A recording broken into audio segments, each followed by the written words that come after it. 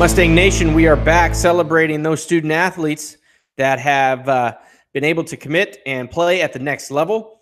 Uh, I'm now joined by Jeremiah Gradowitz, who's going to the University of Nevada, Reno to play football. Jeremiah, thank you for allowing me to come into your home via virtual interview. Well, thanks for having me. How excited are you? You get to go to uh, your school of choice here in Nevada, Reno. Great area, great school, and you get to play the sport you love. Um, how excited are you? Um, I'm very excited. Like you said, it's it's in a great area. It's like 30 minutes away from Lake Tahoe, and the academics and football wise is a perfect fit for me. And uh, how'd the relationship start with Nevada? Um, why why'd you choose the college? How'd you stay in touch with them, and, and what came to your final decision?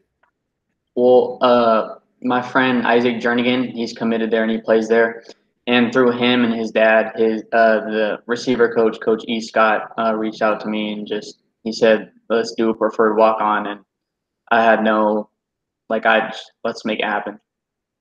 That's awesome. And now uh, you can't just play football, unfortunately, when you go to college. You have to study something. What are you going to study while you're there?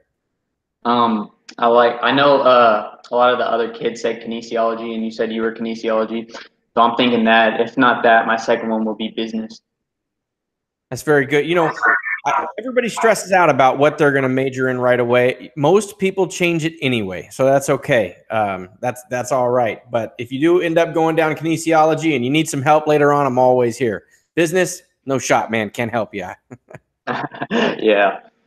So, um, you know, we spent now four years, I guess, t- you know, four years now uh, at Stockdale, and, and, the year came to the end very awkwardly, uh, very different. But I'm sure you have a memory or two that you can share with uh, our viewers. Yeah, football wise, I would say my greatest memory would be beating Righetti my senior year because they, they ended our season my junior year, and just to go out that way um, with the seniors was it didn't feel good. So coming back and beating Righetti was a great uh, feeling. And then school wise, I would say just the everyday thing, like just interacting with uh, my friends and stuff. I'm gonna miss that because we all grew up together, and that was always fun.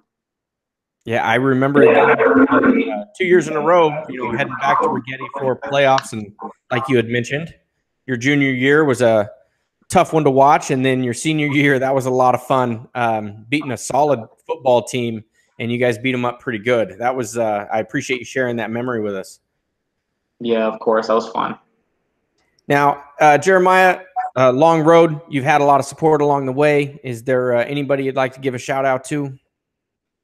Oh, first and foremost, I like to thank God because I wouldn't be here with without God, and um, obviously my parents. Uh, I wouldn't be the man today without them, and Coach Shelton and Coach Pross too. They've really installed just great characteristics in me through these past four years, and also Larry Parker, I wouldn't be the player I am today without him.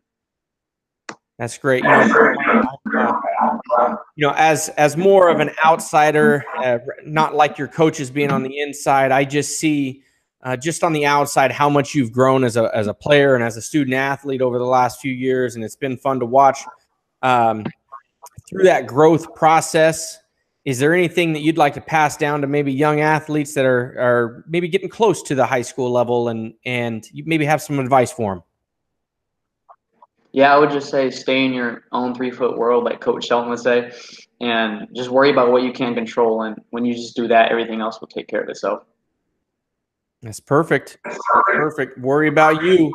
Uh, do your job really well, right? Mm-hmm, exactly. Well, Jeremiah, I'm uh, I'm really happy for you. Uh, congratulations to you and your family. Uh, you get to get you get to live out this dream of college athletics, and and you know go ahead and get your higher education, get your degree, and might as well hit somebody while you're at it. Uh, to use a line from Remember the Titans. So, I'm really happy for you and your family. Um, I can't wait to see where you go from here, how you progress. Uh, be sure to come back and visit the Stockdale Athletic Department when you're back in town and and uh, share those stories and everything you've learned along the way. Yeah, of course. Thank you. Stockdale's. I have so many memories of Stockdale. I'm never going to forget it, and I'll be back for sure. All right. Thanks, Jeremiah.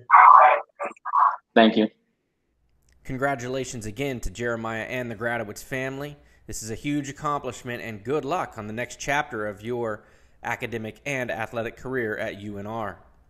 And for the rest of us dealing with these uneasy times, don't forget how powerful you are. You have the ability to positively influence hundreds, thousands of people along the way. So today, just today, use that power in a positive manner, and we'll see where this can go. And congratulations, you made it to the end of the video. So if you missed our last video with track standout Nicholas Johnson, click right here and check it out. Or to see all our videos, subscribe by clicking right here. See you soon, Mustangs.